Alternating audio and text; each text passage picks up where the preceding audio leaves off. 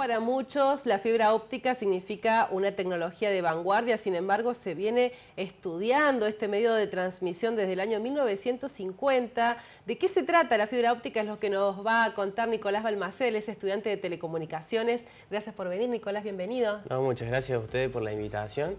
Y bueno, eh, básicamente la idea es comentarle de una forma, un vocabulario sencillo a la gente para que nos entienda en su casa qué es la fibra óptica. Contanos, ¿qué eh, es? Es un medio de transmisión en las redes de telecomunicaciones en donde la información se transmite en forma de luz.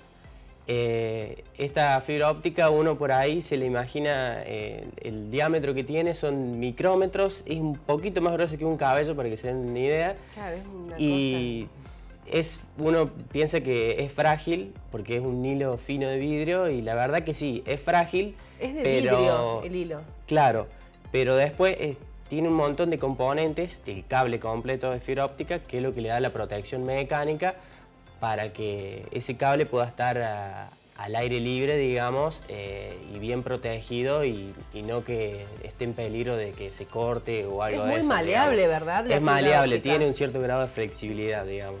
¿Y cómo es posible transmitir información en, ese suplemento tan finito, tan mínimo? Y bueno, eh, yo voy a explicar básicamente cómo es el, proceso. Eh, yo recién les decía que la, información va en forma de luz. Eh, básicamente, vos imagínate, un pulso de luz en las comunicaciones digitales significaría un 1 y la ausencia de luz significa un 0.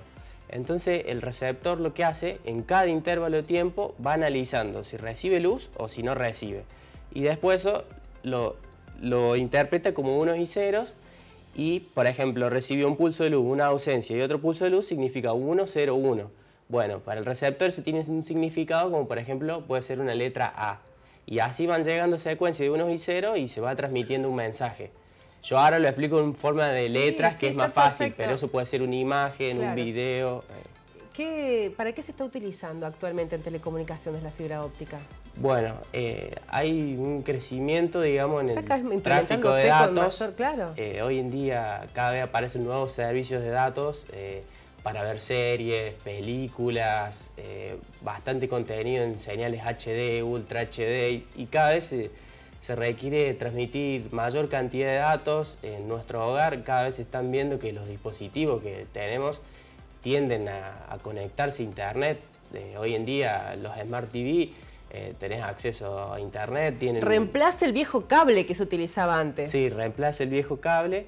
Y bueno, y todo esto al tener que mandar mucha cantidad de información, eh, los medios que están actualmente eh, cada vez se complica más eh, poder pasar todos esos volúmenes de información y no queda otra que, migrar a, otro medio de transmisión que sí soporte transmitir toda esa información. Y eso obliga también a que se vayan adquiriendo nuevas tecnologías que sean capaces de transmitir a través de la fibra óptica.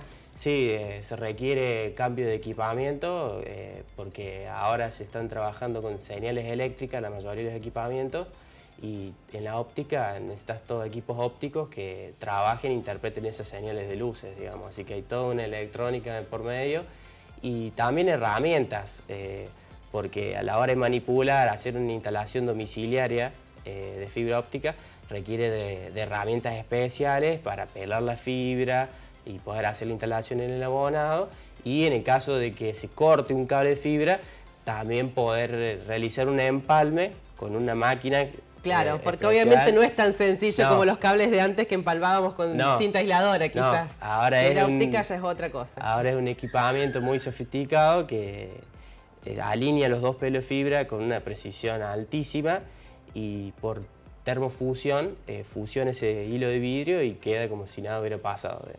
Comparado con esta tecnología que se utilizaba antes, eh, son todas ventajas las que estamos planteando respecto a la fibra óptica. Sí, la verdad son más las ventajas que trae que las desventajas. Eh, la, desventaja más grande era el tema de costos. Hoy en día se han abaratado bastante los costos, eh, hasta el punto de que ya el cobre es caro, entonces ya no hay excusas para, para migrar a esto, digamos.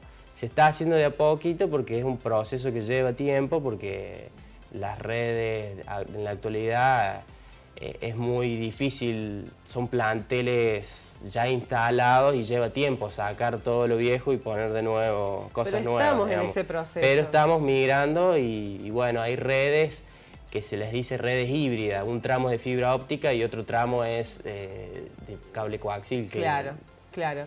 Este uso que nos está planteando Nicolás de la fibra óptica eh, es un uso, por supuesto, científicamente comprobado, pero digo, así como las telecomunicaciones están utilizando cada vez más la fibra óptica, hasta en eh, los aparatos de Navidad, en lo que tiene que ver con accesorios, con decoración, también se está incorporando. Sí, tiene un uso también, otro tipo de uso, no solamente para transmitir información, sino cuestiones decorativas. Eh, sí, sí, hay, hay de todo. En los arbolitos de Navidad podemos ver fibra óptica, el uso también, digo, acá le encuentran eh, mayores aplicaciones, es muy dúctil en ese sentido. Sí, sí, bastante dúctil, digamos.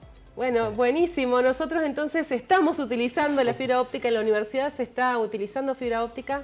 Eh, sí, yo ahora eh, estaba en, un trabajo, digamos, en, en vincular el pabellón I con la UTI todo por medio de, fibra óptica y estábamos ahí realizando con los profes del laboratorio, todos en conjunto, eh, realizando el, tendido de la fibra a lo largo del pabellón y para comunicar con el centro de datos de la UNI. Por supuesto, los ingenieros poniéndonos eh, con la vanguardia de toda la tecnología que se utiliza en lo que tiene que ver con las telecomunicaciones. Muchas gracias por todo lo que nos contaste y compartiste con nosotros. No, por favor, muchas gracias a ustedes por la, por la invitación.